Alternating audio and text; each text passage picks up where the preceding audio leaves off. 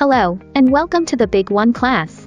We believe that when you first become interested in blockchain or cryptocurrency, you frequently come across acronyms that sound similar to POW and POS. And you were at a loss for understanding these words that you had never used before. Let's talk about the three main blockchain consensus mechanisms in this video. What is a consensus mechanism? Blockchain is a distributed ledger. This ledger differs from traditional ledgers in that it allows anyone to participate in accounting. However, bookkeeping necessitates the application of a universally recognized rule. Namely, how to keep accounts to be effective. And the blockchain's consensus mechanism is based on this universally accepted rule. At the moment, the three most common blockchain consensus mechanisms are POW, POS, and DPOS.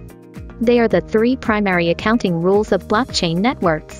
It plays an essential role in the distribution of bookkeeping rights and associated income. POW's proof of workload mechanism. Proof of work is used to confirm that you have completed a specific amount of work. The proof of workload mechanism uses the workload results to prove the contribution size and then determines the accounting rights and rewards based on the contribution size. The proof of work process is the process by which your computer performs mathematical operations. Simply put, everyone answers the same question. And whoever calculates it first is in charge of keeping the books. The person who maintains the account is eligible for the corresponding reward, which is cryptocurrency. The benefits of POW include decentralization, fairness, and justice. POW has the disadvantage of consuming computing power and wasting energy. Post proof of stake mechanism. The proof of stake mechanism states that the more equity you have contributed, the greater the rewards you can receive. The equity here refers to the amount and duration of the cryptocurrency you hold and it is allocated accordingly. The dividend reward system is like that of stocks. The more coins you have and the longer you keep them, the more dividends you can receive and the greater your right to bookkeeping. The benefits of POS include low energy consumption, a high cost if you cheat, and a short time to reach an agreement. The disadvantage of POS is that currency holdings are typically centralized, and liquidity is limited. DPOS delegated proof of stake mechanism based on POS.